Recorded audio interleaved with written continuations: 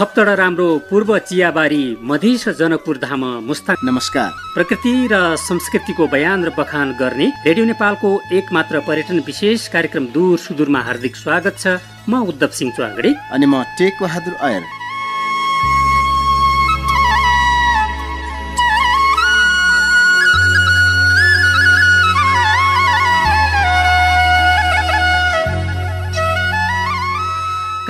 दूर सुदूर हरेक मङ्गलबार दिउँसो करिब डेढ बजेदेखि दुई बजेसम्म नियमित प्रसारण हुन्छ भने राति नौ बजेको समाचारपछि पुनः प्रसारण हुन्छ।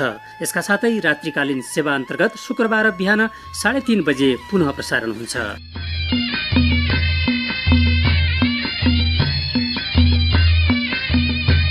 आदरणीय श्रोताहरू आज कार्यक्रम दूर सुदूरमा सुदूरपश्चिमका एकजना कलाकार लोक साहित्यका क्षेत्रमा काम गर्ने लोक संस्कृतिका क्षेत्रमा काम गर्ने एकजना कलाकारसँग कुराकानी गर्नेछौँ भने त्यस सँगसँगै सात नम्बर प्रदेशको एउटा ठुलो महान पर्व गौरा पर्वका बारेमा हामी चर्चा परिचर्चा गर्नेछौँ। सबैभन्दा पहिला त हामी एकजना कलाकारसँग कुराकानी गर्दैछौँ। सुदूरपश्चिममा रहेर खास गरेर त्यहाँको लोक गायनका क्षेत्रमा रहेर झन्डै झन्डै दुई दशकदेखि संलग्न हुनुहुन्छ। विशेष गरेर त्यहाँको लोक देउडाको क्षेत्रमा उहाँले ठुलो योगदान दिनुभएको छ। उहाँ हुनुहुन्छ कलाकार दिपेन्द्र प्रसाद दाहाल सबैभन्दा पहिला दाहाल जिल्ला कार्यक्रममा हार्दिक स्वागत छ।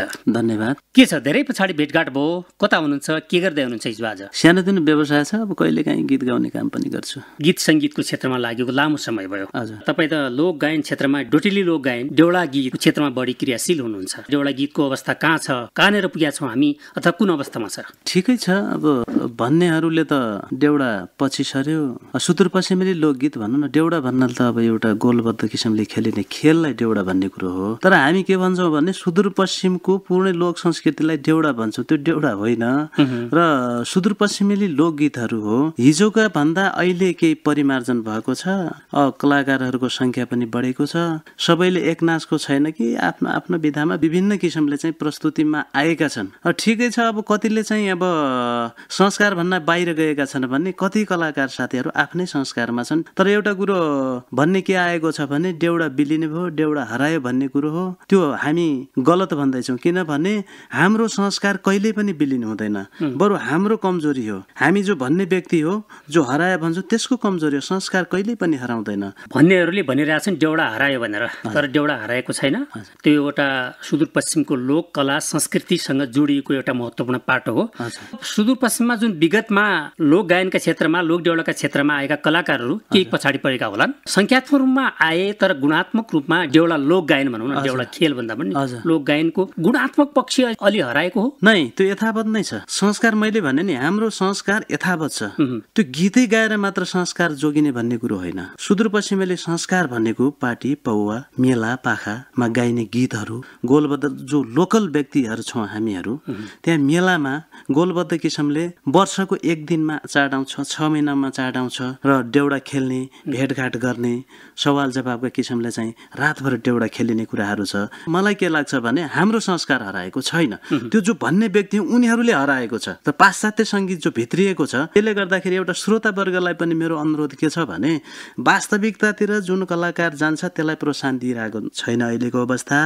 जो अवास्तविक छन् त्यस्ता शब्दहरू प्रयोग गरेर जसले गीत गाए त्यस्तालाई प्रायोरिटी दिएको अवस्था देखिएकोले केही व्यक्तिले के भन्छन् भने हाम्रो देउडा हरायो। देउडा हराएको छैन सुदूरपश्चिमेली लोकगीत हराएको छैन। हाम्रो संस्कार हराएको छैन यथावत छ तर हाम्रो चाहिँ मनसाय हराएको जस्तो मलाई लाग्छ। यहाँले भने जस्तै लोक गायन अथवा लोक देउडा हराएको छैन लोक संस्कृति हराएको छैन भन्नु तर त्यसलाई हामीले राष्ट्रियकरण गर्ने काम अन्तर्राष्ट्रियकरण गर्ने काम अथवा त्यसको पहिचान बढाउने काम कति गर्यौँ त्यो त एउटा मैले गीत गाएँ म कलाकार हुँ भन्ने बित्तिकै मेरो मात्र कर्तव्य होइन। मलाई लाग्छ म आफ्नो ठाउँमा ठिक छु। मैले आफ्नो नियमितलाई अगाडि बढाएकै छु। तर यसमा के छ भने एउटा कलाकारको मात्र जिम्मेवारी नभएर आम पब्लिकको जिम्मेवारी हुन्छ।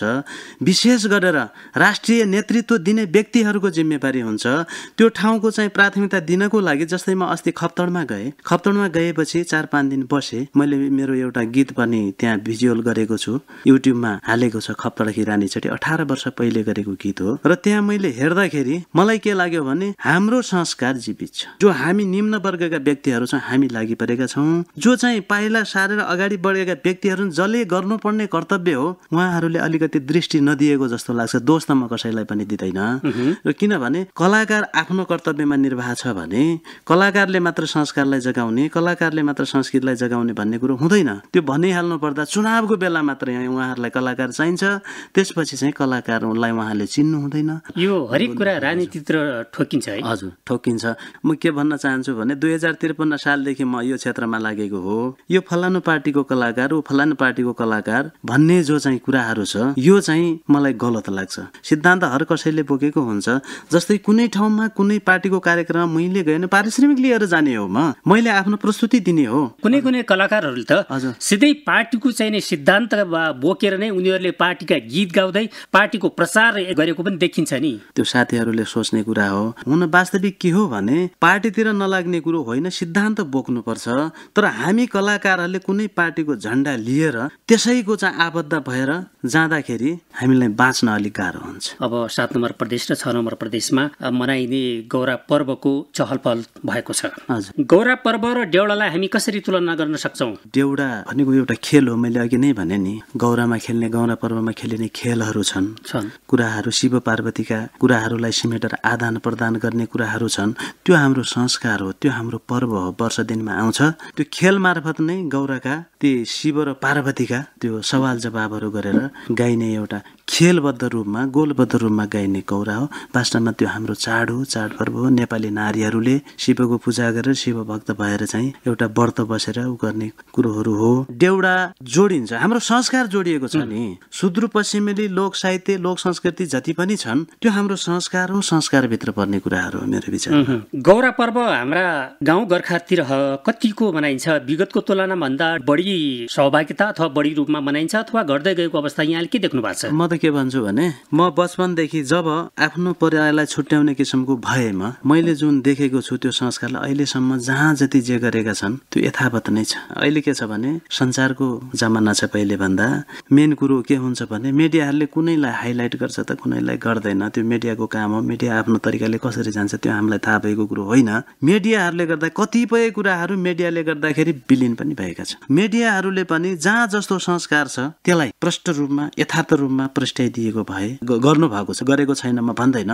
अझै पनि थप किसिमले गरिदिएको भए राम्रो हुन्थ्यो होला। हाम्रो देशको मिडियालाई मैले भन्नुपर्दा यथार्थ मिडिया छँदै छैन। तर गौरा पर्व देउडा खेल। सँगसँगै जुन आउँछ जसो विगतमा हामी सुदूरपश्चिमका गाउँघरकातिर मात्र देखिन्थ्यो भने अहिले त राजधानीसम्म देशका विभिन्न सहरसम्म हामीले मिडियाहरूले पहुँच गरेका छन् नि। गरेका छन्।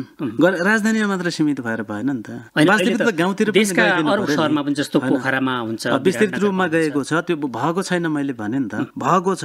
मेरो आग्रह के छ भने विशेष गरेर कुना काप्चामा गएर पनि त्यहाँका चाहिँ संस्कारहरूलाई प्रेस्टाइदिए राम्रो हुन्थ्यो भन्ने कुरोहरू। यति बेलासम्म थुप्रै गीत गाइसक्नु भएको छ। कति जति एल्बम निकालिसक्नुभयो यहाँले? मेरो उसरी पच्चिससम्म पुगेको छ। अहिले त एउटा गीतलाई एउटा एल्बम भनिन्छ। पहिले एउटा एल्बममा पाँचवटा छवटा आठवटा गीत हुन्थ्यो। सबै गरी पच्चिससम्म पुग्यो होला मेरो विचार अनुसार पक्कै पनि। काउन्टिङ गरेको छैन। देश विदेश पनि जानुभयो। भर्खरै थाइल्यान्डबाट आउनु भएको छ।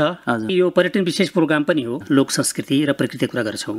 र अर्कोतिर हाम्रो विदेशी पाहुनाहरूलाई नेपालमा कसरी आकर्षण गर्ने भन्ने कुरा पनि हो। थाइल्यान्ड एउटा विश्वको एउटा पर्यटकीय देश हो होइन। के पाउनुभयो त्यहाँ? हिजो आज मात्र त्यहाँबाट फर्किनु भएको छ। मैले अलिकति जाँदाखेरि अनुभव साटसाट गरौँ न। त्यहाँको जुन पर्यटकहरूलाई स्वागत गर्ने सिस्टम छ त्यो बडा राम्रो छ हेर्नुहोस्। कस्तो गर्दा रहेछ फेरि मलाई त के छ भने फेरि थाइल्यान्ड फेरि जान पाऊँ भन्ने बाचा लिएर आएको छु। उहाँहरूको शिष्टता उहाँहरूको शोभा उहाँहरूको चाहिँ व्यवहार उहाँहरूको बोली जे जति छ नि एउटा चाहिँ सम्मानजनक किसिमको छ। पर्यटकहरूलाई आकर्षक गर्ने किसिमको र गाइड गर्दाखेरि पनि सबै कुराहरू यथार्थ चित्रण कुनैलाई कुनै किसिमको समस्या पर्यो भने त्यो समस्याको समाधान गर्न सकिन्छ कि? पर्यटकलाई कुनै किसिमले खुसी राख्न सकिन्छ कि? भन्ने कुरोहरू मैले बुझेँ। र अब सहरको त के कुरा गर्ने? कति माथि पुगेको सहर छ? साह्रै व्यवस्थित छ। उहाँ हेऱ्यो भने आफ्नो यसो नेपालतिर फर्क्यो भने खिन्नता लाग्छ। यी यावत कुराहरू नेपाल र थाइल्यान्डमा सँगसँगै सुरुवात भएको हो हवाई मार्गदेखि लिएर। हामी नेपाली जहाँका त्यहीँ छौँ तर थाइल्यान्ड कति माथि पुगेको छ भन्ने एउटा आफ्नो देशलाई फर्केर हेर्दाखेरि त्यो चिन्तन पनि हुँदो रहेछ। दाहालजी हामी कार्यक्रमको अन्त्यमा छौँ। यति बेला गौरव पनि मनाइरहेछौँ हामी। देशभरि नै मनाइरहेछौँ अहिले त होइन? यस सँगसँगै अब गौरवसँग जोडिएको मैले पाटो डेउडा पनि भनेको थिएँ। तपाईँ खास गरेर डेउडा गीत नै गाउनुहुन्छ अथवा सुदूरपश्चिमी लोक भाका गाउनुहुन्छ। हजुर। जाँदा जाँदै एउटा गीत गुनगुनाएर त्यही गीत श्रोताहरूलाई सुनाएर हामी बिदाबारी हुन्छौँ मैले भर्खरै मात्र अलि फरक पाराको गीत निकालेको छु। जुनगिडी भन्ने गीत भर्खरै बजारमा भिडियो पठाएको छु। यही गीतको सानो अंश म यहाँहरू माझ राख्न चाहन्छु। बेसी राम्रो मखमलीले जुनकिडी लेकै गुरासले लेकै गुरासले म पन राम्रै छु।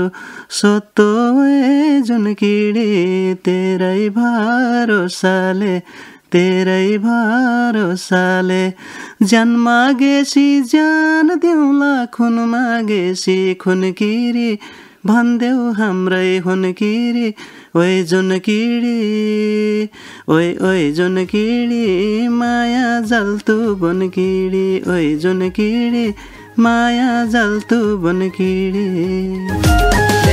राम्रो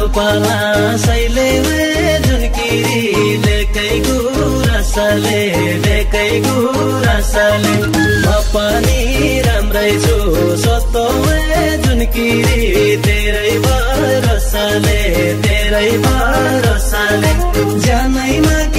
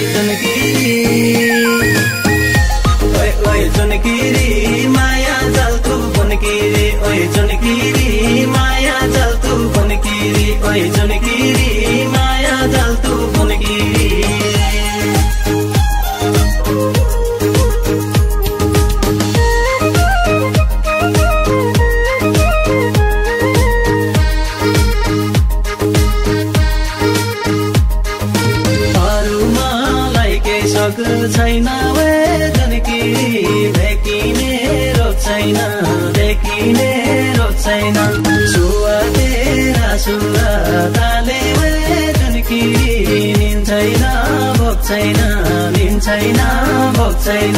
सुनिरहन मन छ मलाई तिम्रै बुन बुन बुन किरी। नाखै बस्छु मन किरी है जनकी ओइ ओइ जुनकिरी माया जल्तु बुनकिरी ओइ जुनकिरी माया जल्तु बुनकिरी ओइ जुनकिरी माया जल्तु बुनकिरी ओइ जुनकिरी माया जल्तु बुनकिरी ओइ जुनकिरी